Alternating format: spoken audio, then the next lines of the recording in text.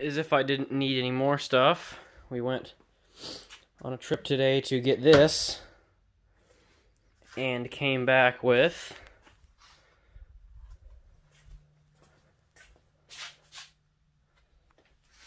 that. Um, guy had a whole bunch of other stuff uh, that wasn't advertised. Spider web. Grabbed as much as I could. Um,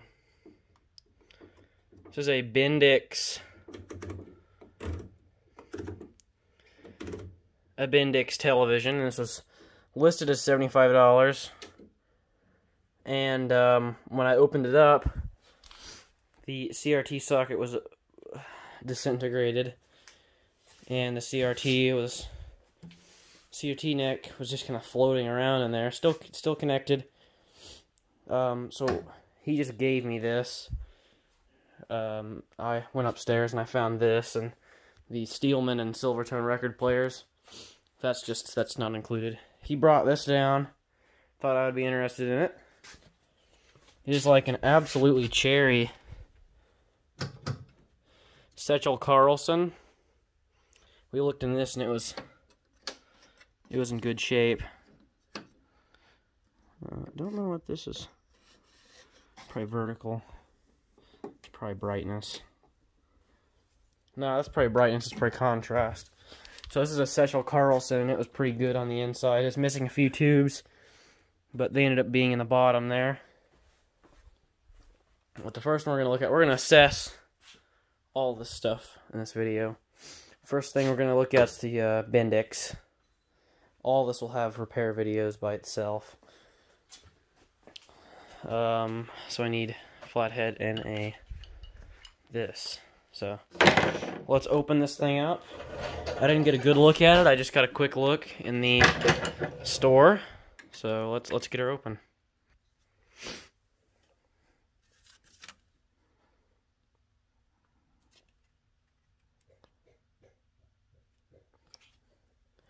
Here's what I mean by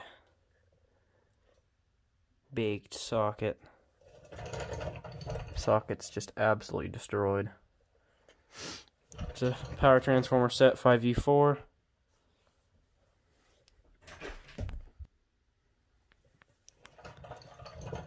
I don't know. Should we open the high voltage cage? See how bad the flyback looks. Noise control. 24 inch picture tube, I think. Or 21 inch. I don't know. Definitely a smoker set, though. That really worries me. What it should say on here. 250 watts. Nope, doesn't say. So we'll pop pop this off. You can see it's been popped many times before. And uh, look what the flyback looks like. Look what the uh, how much wax is in the bottom. So we'll do that. Oh, we got a screw in here. Nice. Flyback doesn't look too bad. This is definitely a high hour unit. Still uses an ion trap. I believe this set is a 54. Cathode doesn't look all blue. Doesn't mean it hasn't gone to air either. Sure. Connections for the antenna.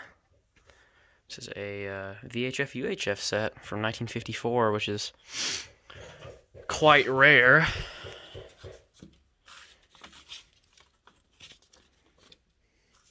You you bought a Bendix. How to turn on and tune your Bendix television.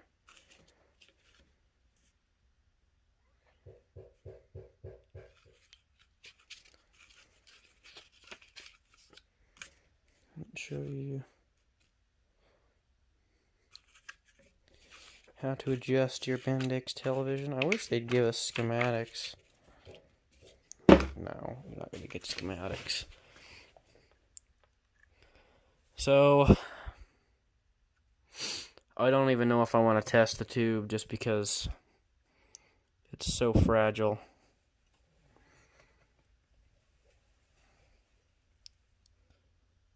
I don't think I am. I think I'm going to leave this alone for now.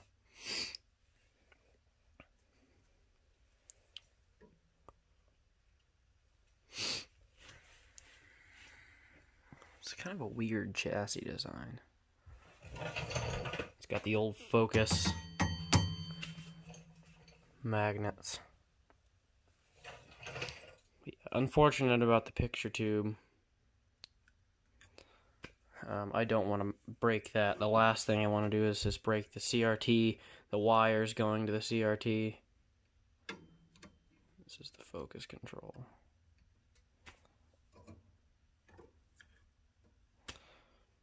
Looks like it was bent down, you know. Probably what cracked the uh, socket in the first place.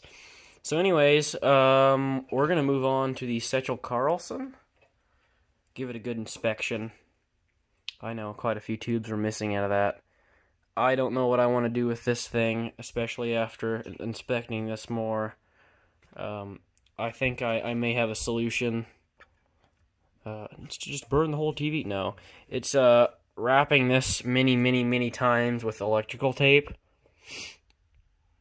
and uh, praying that it doesn't come loose again. That's probably what I'm going to end up doing. I don't.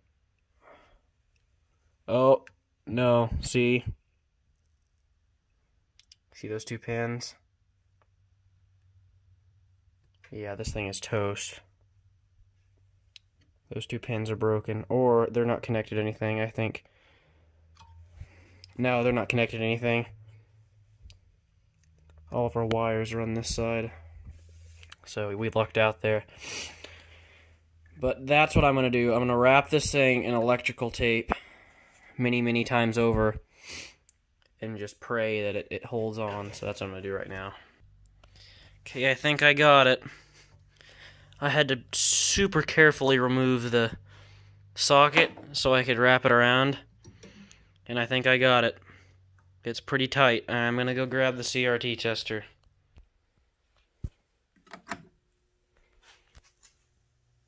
Hey, the filament's glowing. Good news.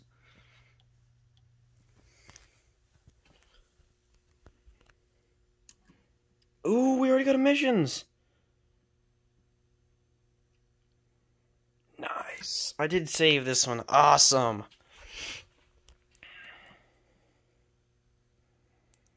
Alright, let's let this thing bake. It's going down. 6.3 volts. This sucker cooking up.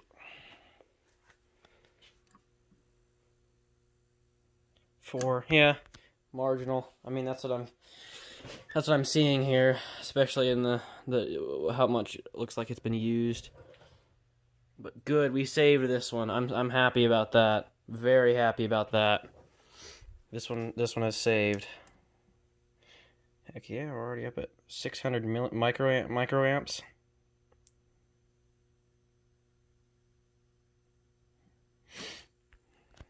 So, yeah, no rejuve needed on this one. We'll let it cook for a little bit, see if we can get it, get it higher than that. It looks like it's coming up. Bring it back down to 5.7.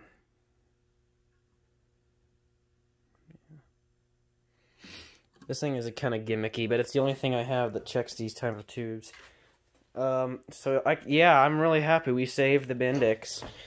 I can't believe that actually worked. Um, I thought this thing was just gonna be a part set, but not anymore. We saved it. So yeah, we'll have a video series on this, the uh, Bendix model, whatever. The UHF tuner from 1954.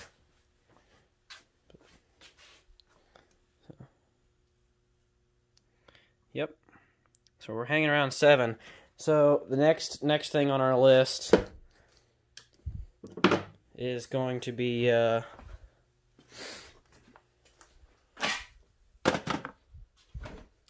the Setchell Carlson, and this thing was like minty on the inside. uh, in really good shape, and then we'll take a look at the record players and the RCA radio.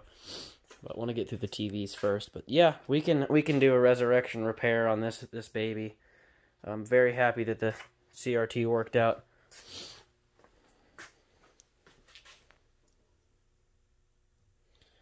Yeah, very happy about that. We're cooking it. Seven and a half, 750 micro microamps. So, very, very happy about this one. I am I'm very surprised that even worked. Now I'm going to carefully take that off and reattach that. Okay, this is a Setchell Carlson. This is actually a pretty good looking set. It's VHF ready too. I believe this is about a 1955. So let's get her open. Here we have a uh, intact CRT. This thing looks like it's got a few hours on it, but we're missing two, three, four, four tubes. And the flyback cage is open. But like I said, the tubes are indeed in here. You can see.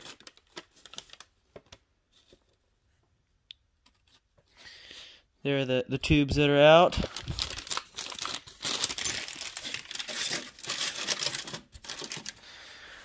Flyback looks good.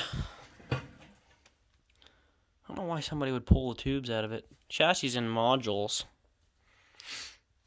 Kinda cool. Focus plugs in. Yeah, kinda cool.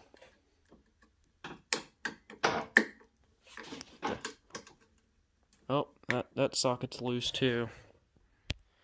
This has a, come on camera, focus, has a Mullard branded Cardinal CRT in it. So let's see how the Cardinal does. Okay, let's watch the Cardinal fire up.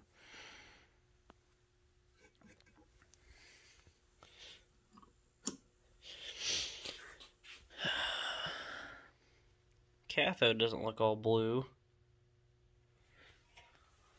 Oh, we already got emissions too. Holy crap. I'm on 5 volts too. Wow, that that's like brand new. That that's picturing what I see here. Not not lots of dust. Holy crap, that's cut off. Wow, that's emissions. So cutoffs in the in the in the marginal range, it's still coming up. Cutoff is. Emissions are just perfect, man. I'm on 5.7 volts too. Wow, that that's a that's a, almost a brand new tube. Cutoff made it to the good range. Wow. That that sucker's that sucker's perfect. There's nothing wrong with that. That tube is, is like cherry. Along with this TV, the TV is in such good shape too. It's in, you know, it is just immaculate. Setchell Carlson.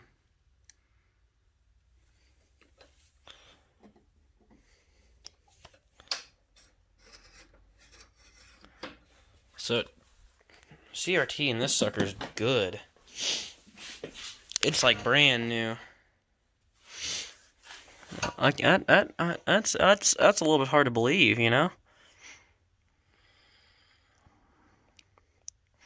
Got a lot of replacement tubes here, but wow. Yeah, Setchell Carlson is is is rocking. Um, I think I'm gonna have to end the video here. I'm kind of hungry. Gotta go in the house get some Culvers. Um, but thanks for watching. We'll do an assessment on this stuff a little later. But yeah, two two good TVs. This one's got a marginal tube. That one's got a I got a rocking CRT in it. So we'll do repair videos on both.